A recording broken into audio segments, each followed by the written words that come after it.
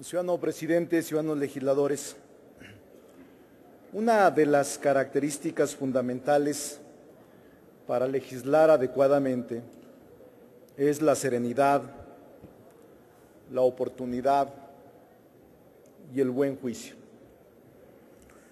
No es deseable, lo digo con toda seriedad y firmeza, que la violencia se siga imponiendo en ninguna parte, en ningún lugar, de ninguna forma. Pero me parece un exceso la satanización de las barras, de los aficionados, de los seguidores y simpatizantes de los equipos de fútbol. No puede legislarse, ciudadanos diputados y diputadas, de manera reactiva, apresurada, parcial. No puede solo acudir a agravar penas. Se requiere de un análisis más profundo. Por ejemplo, les pregunto, ¿Qué responsabilidad tienen los dueños de los equipos, los patrocinadores, los medios de comunicación, sus voceros? Pero voy a usar un argumento que quizás los convenza, aunque voten mecánicamente como se los indican no podemos excluir en el análisis a la FIFA, a los organismos públicos para regular actividades deportivas, a los organizadores que no, fíjense bien, no observaron lo que contiene el reglamento de FIFA para la seguridad de los estadios. Es decir, quienes son los responsables son los organizadores,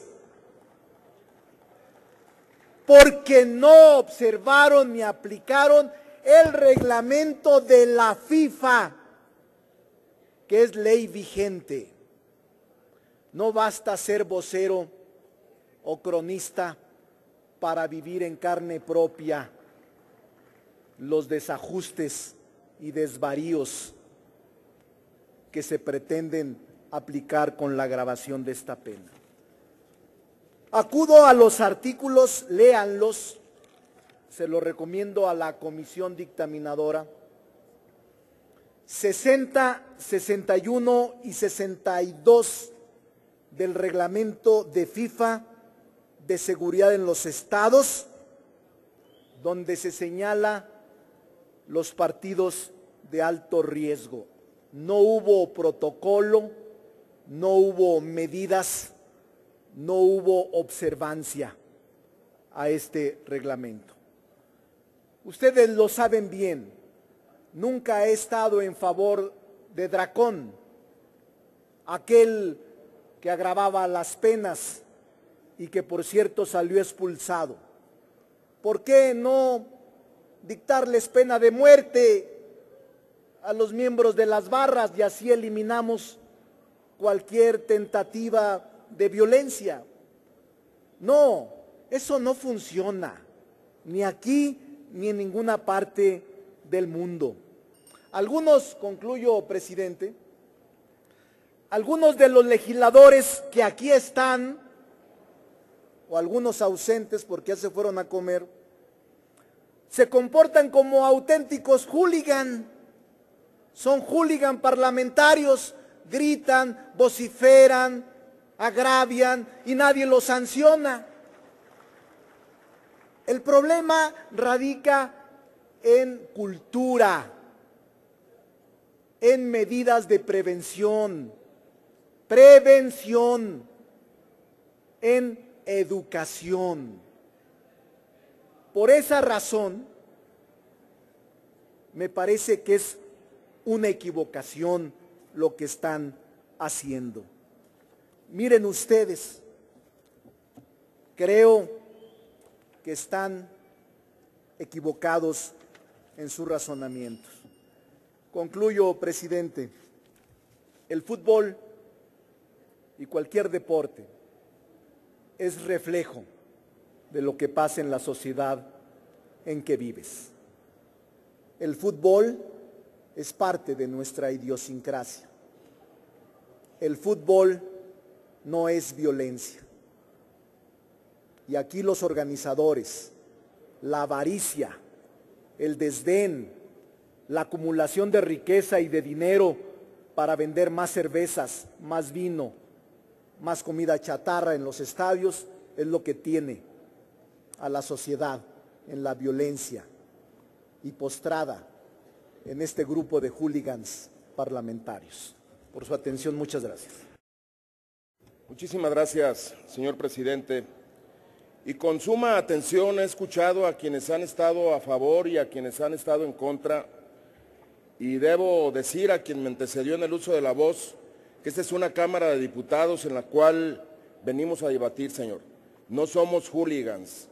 Y si algo ocurrió el día sábado en el Estadio Jalisco, en donde tuve la fortuna de ver un buen partido, pero la gran desgracia la gran desgracia de lo que vivimos.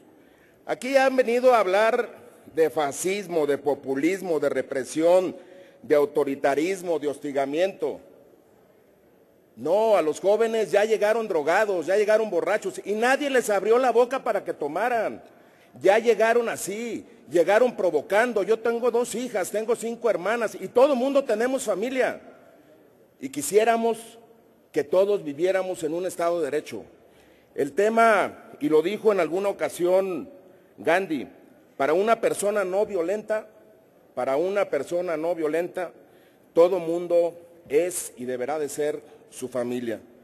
Sí, el fútbol, y el fútbol, y lo agradezco, nos generó a muchos de los aquí diputados el participar en unos pequeños torneos de fútbol, y eso nos unió de manera civilizada. Jugó el PRD, jugó el PAN, jugó el PRI, jugó el Verde Ecologista. Aplaudo la sensibilidad que muchas y muchos de mis compañeros y compañeras han tenido. Pero también decirle, en automático, en automático hay muchos que también votan en contra de todo. Y hay muchos que están esperando que a las 3 o 4 de la mañana les toquen la puerta y le piden a Dios que sea pleito. No, yo creo que todo mundo podemos hacer razonamientos y esos razonamientos deben de ser en pro de que en este país vivamos en paz. Fue una verdadera desgracia lo ocurrido en el Estadio Jalisco. Fue un verdadero insulto, fue agresión. La gente estaba temerosa. Los estadios de fútbol deben de ser para la familia y particularmente para los niños. Ya lo dijeron, el deporte engrandece y limpia las mentalidades en ocasiones disturbadas de muchos. Sí, el fútbol es generador de pasiones profundas, de rivalidades irresolubles, de identidades, de tristezas y de dichas. Sí, el fútbol se ha convertido en un fenómeno social que, a despecho de puristas y pretenciosos tiene la convocatoria y el poder suficiente para detener el mundo durante algunas semanas cada cuatro años. Yo soy aficionado, he jugado fútbol y hoy Mm, lamento lo que ha venido ocurriendo. Yo no permitiría el que nos vuelvan a insultar porque no somos hooligans, somos seres y somos personas que quizás pensemos de manera diferente, quizás tengamos diferentes ideas, pero tampoco le voy a reconocer y les voy a reconocer el hecho de que en automático todo lo quieran votar en contra.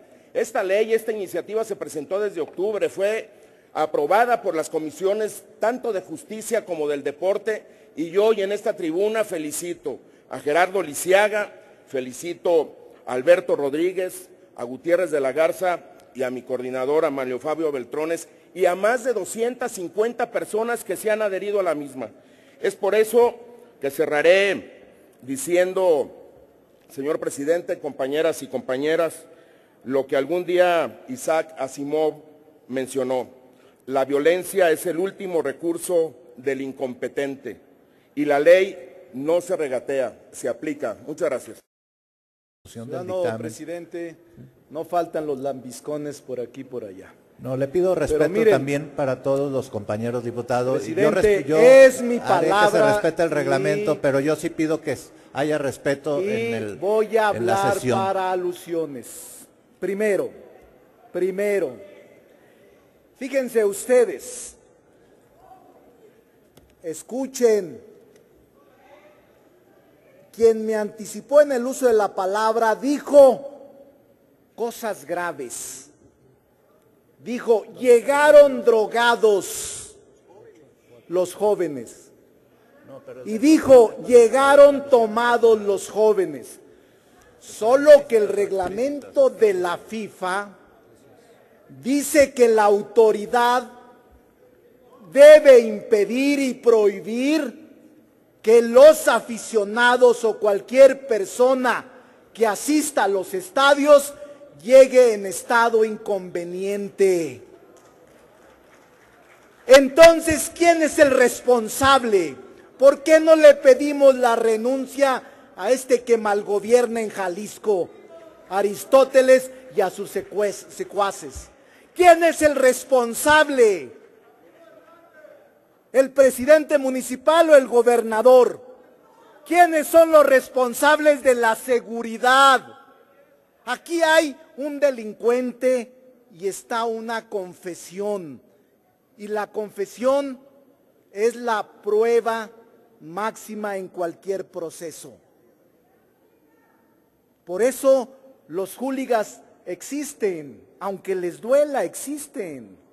¿Cómo es posible que se venga a argumentar aquí que los jóvenes, que los jóvenes estuvieron drogados antes y que pasaron drogados. Es una ofensa a la gente de Jalisco que se diga que los jóvenes, sin especificar quién, llegaron drogados.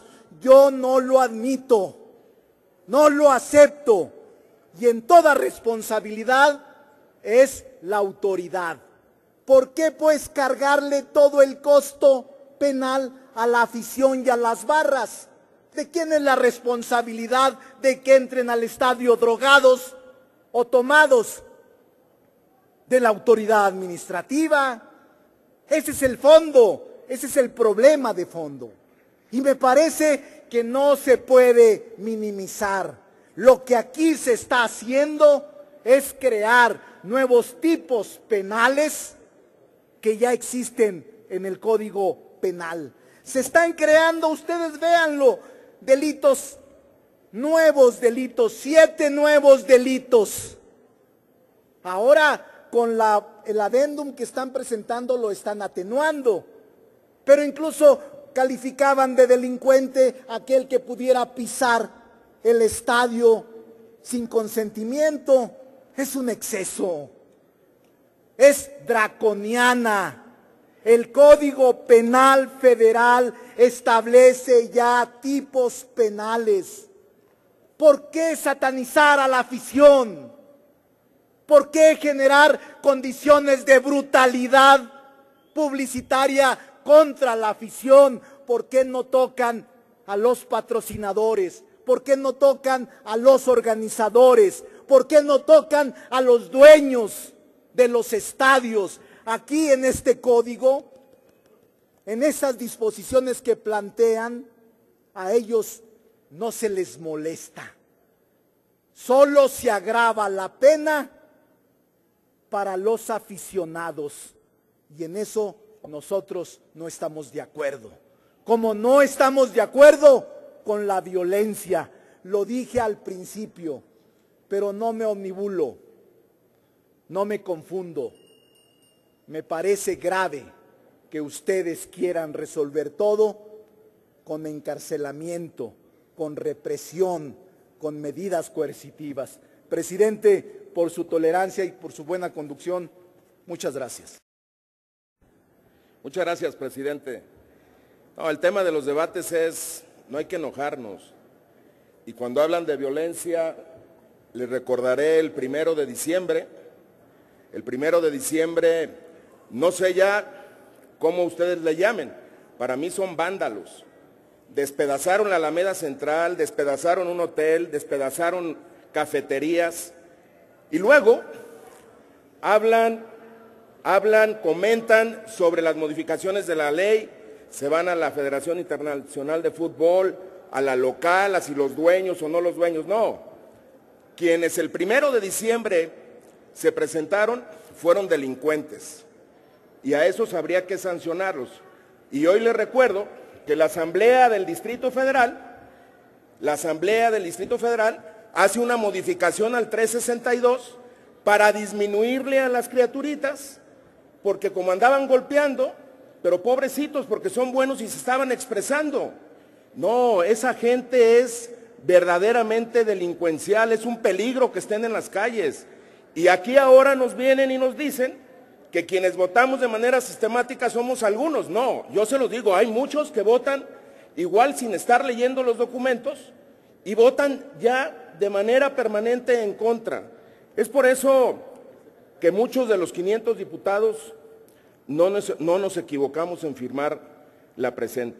Más de 250 firmas el día de hoy están registradas. Yo agradezco la oportunidad que me brindan para poder hablar en, esta tribuna y poder defender lo que a mí me espantó en un estadio en donde no solamente es el Estadio Jalisco, señoras y señores, es a, a, lo largo y ancho de toda la República lo que hoy está ocurriendo. Y no podemos permitir el que algún día, como alguien lo mencionó hace un momento, el que algún día aquí estemos pidiendo un minuto o cinco minutos o diez minutos por las muertes que en algún estadio que en algún estadio por un puñado de vándalos y de criminales maten a alguna persona. Y ojalá esa persona nunca sea un ser querido y nunca sea alguien que esté cerca de nosotros. Por su atención, muchas gracias.